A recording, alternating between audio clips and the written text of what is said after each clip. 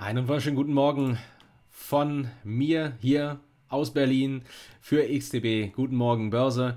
Wir wollen einen Blick werfen, wo wir aktuell im Markt stehen. Haben sehr starke bullische Vorgaben, die haben wir ja zu sehen bekommen. In den letzten Tagen ganz besonders. Sektorrotation auch potenziell auf die Non-Farm Payrolls folgend. Tech-Titel nicht mit neuen Wochen hochs oder über die, nennen wir die jetzt mal NFP-Hochs gelaufen, aber der S&P vorgestoßen bis in Richtung der August-Hochs. Das war allerdings dann etwas, was der Nasdaq schon bereits zuvor getan hatte. Das heißt also, da haben wir so einen Leck, sage ich mal, so eine zeitliche Verzögerung jetzt aktuell. Aber, und das ist das, was wir zu sehen bekommen, das ist eben eine potenzielle Sektorrotation, eine Marktbreite, die diese Aufwärtsbewegung trägt. Und ähm, da sind also viele Financials gewesen, da war auch Energy-Titel zum Beispiel die entsprechend diese Bullishness getriggert haben. Und ähm, das ist etwas, was im aktuellen Umfeld, ich möchte fast sagen, gerade recht kommt. Denn wir haben gestern nämlich die größte Firma, ausgehend von der Marktkapitalisierung jedenfalls, nämlich Apple gesehen, mit einer Ankündigung auf der WWDC, der Worldwide Developer Conference. Das war der Ort, wo wir beispielsweise die Ankündigung des iPads gesehen haben oder auch des iPhones zum Beispiel. Und ähm, auf dieser wurde die Vision Pro angekündigt. Apple infolgedessen auf neue Allzeithochs gebrochen, aber wie so häufig, viele werden aufmerksam auf die Aktie und dann gab es eben ein Fake-Out und eine Korrekturbewegung mit einer Marktkapitalisierung von 2,5 und plus, also zwischenzeitlich waren wir sogar bei 2,8 Billionen US-Dollar. Da haben wir dann eben eine Korrektur gesehen, die auf den Nasdaq durchgeschlagen ist, aber das der große Ausverkauf, so möchte ich mal sagen, der ist definitiv ausgeblieben. Und das ist eben durchaus etwas, was aktuell relativ günstig ist, tatsächlich, und worauf wir hier in den folgenden Minuten einen Blick werfen wollen. Bevor wir offiziell starten, Blick auf den Risikohinweis. Devisen CFD sind gehübelte Handelsprodukte, die sind nicht für jeden geeignet. Vollständiger Risikohinweis zu finden auf xdb.com/de. Bitte gerne diesen Risikohinweis sich zu Gemüte führen, Demo runterladen, schauen, ob das persönliche Risikoprofil mit den Produktcharakteristika, die CFD-FX-Produkten innewohnen, korrespondiert und dann eben eventuell früher oder später auch mit einem Live-Konto durchstarten. Wie gesagt, alle Informationen, vollständiger Risikohinweis auf xdb.com/de. Eventuelle Interessenskonflikten, ich bin aktuell nicht positioniert in der Apple. Ich habe noch eine zweite Aktie mitgebracht, da bin ich auch noch nicht positioniert, aber noch nicht eventuell. Auch ein ganz, ganz spannender Titel. Ähm, bitte alles, was ich hier präsentiere, als edukativen Content verstehen, nicht als Empfehlung interpretieren oder missverstehen, sondern für sich seine eigene Due Diligence haben, beziehungsweise seine eigenen Risikopräferenzen mit in sein Trading einbauen und dann die Gedanken eventuell in seinem Trading umsetzen, aber sich dessen klar sein, dass die eben entsprechend mit Risiken einhergehen, die nicht für jeden Anleger geeignet sind.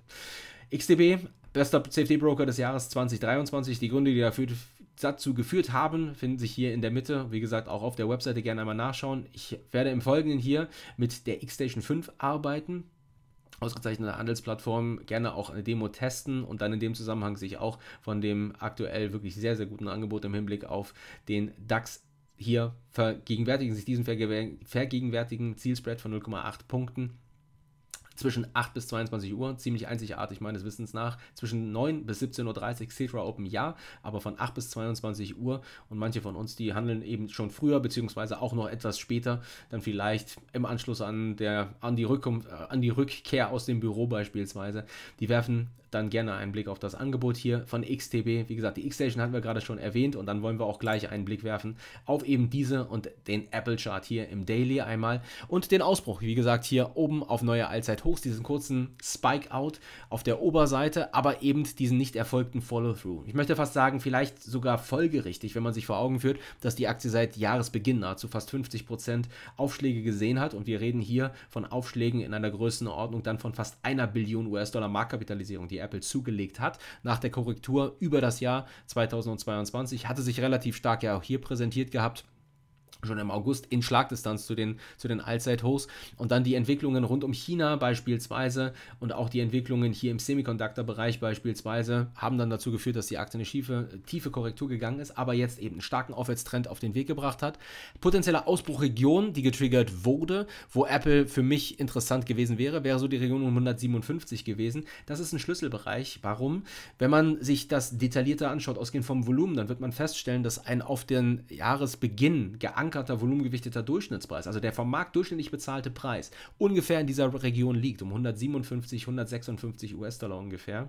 Das wäre vielleicht auch eine Zielregion für eine Korrekturbewegung, sollte Apple nach diesem jetzt erfolgten Fehlausbruch hier auf neue Allzeithochs in einen Korrekturmodus gehen. Also wer überlegt, Apple längerfristig ins Portfolio zu nehmen, der wartet auf eine etwas tiefere Korrektur. Chance-Risiko-Verhältnis technisch sind das nicht die attraktivsten Niveaus. Wer kurzfristig Apple tradet aktuell, der findet auch einen interessanten Kursbereich. Also wir sehen hier schon entsprechend diese sogenannte Rejection ähm, an den Allzeithochs, die gestern stattgefunden hat. Relativ scharfer Abwärtsimpuls. Und ähm, jetzt stellt sich so ein bisschen die Frage, sind wir vielleicht von einer größeren Korrektur? Ich bin mir nicht ganz sicher, ob ich von größerer Korrektur sprechen würde.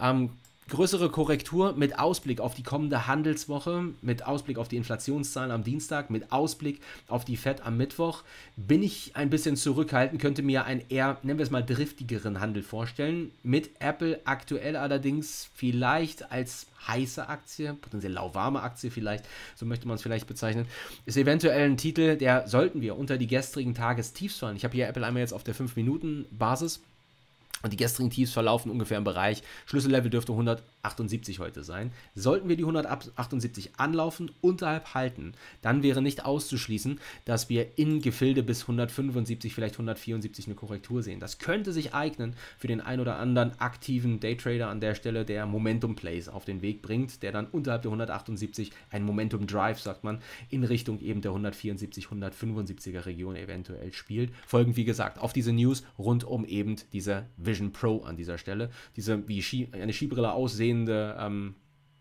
ja, Skibrille aussehende Brille, ähm, wo wir eben diese Apps dann beispielsweise virtuell vor unser Auge gespielt sehen und ähm, uns so in der realen Welt bewegen.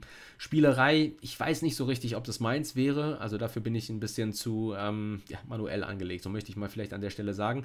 Hat auch einen ähm, ordentlichen Preis, Juicy, glaube ich, dreieinhalbtausend ähm, US-Dollar, die ähm, hier diese, diese Brille kostet, aber sie wird eben, sie wird eben auch vielleicht im derzeitigen Umfeld hinsichtlich eben der Entwicklung im Bereich künstliche Intelligenz sehr, sehr interessiert angenommen und sorgt eben für dann entsprechend auch eine entsprechende Aufmerksamkeit in der Aktie. Zweite Aktie, die ich jetzt gerne nochmal so hier mit einstreuen möchte, wo wir vielleicht vor einem Ausbruch aus dieser potenziellen Bullenflagge stehen, ist Shopify. Ähm, deswegen interessant, sehr, sehr beaten down über das Jahr 2021 gewesen, beziehungsweise das war 2022 viel mehr, aber mit einer Bodenbildung, sehr, sehr starken Earnings, einer recht starken Guidance, das war Anfang Mai, mit einem sehr, sehr starken Drive und jetzt mit einer Korrekturbewegung. Und ähm, das Interessante ist, dass man auch hier mit geankerten, volumengewichteten Durchschnittspreisen arbeiten kann. Ankern wir den auf den Earnings Release, also auf die Veröffentlichung der Earnings-Zahlen, auf diese Kerze und auf die jüngst ausgebildeten Hochs hier, Jahreshochs um 65, dann werden wir feststellen, dass diese zwei volumengewichteten Durchschnittspreise konvergieren gegen 60 Dollar. Gestriger Schlusskurs knapp unterhalb 59,81. Lange Rede, kurzer Sinn. Sehen wir einen Drive über die 60 und ein Halten, ist das ein durchaus interessantes Signal, was hier in der Shopify generiert wird. Und sollte der übergeordnete Markt ruhig bleiben, könnte relative Stärke hier in die Aktie kommen, die uns in der Shopify oberhalb der 60 Richtung Gefilde 65 vielleicht sogar dann auf neue Jahreshochs katapultiert und könnte Chance-Risiko-Verhältnis technisch für einen Swing-Trade super interessant sein. Also Apple und Shopify gerne die Charts checken auf der Webseite xtb.com/de, sich eine Demo runterladen und soweit meinerseits. Bis zum nächsten Mal. Happy Trading, passt auf die Stops auf, habt euch wohl. Bis dann und tschüss.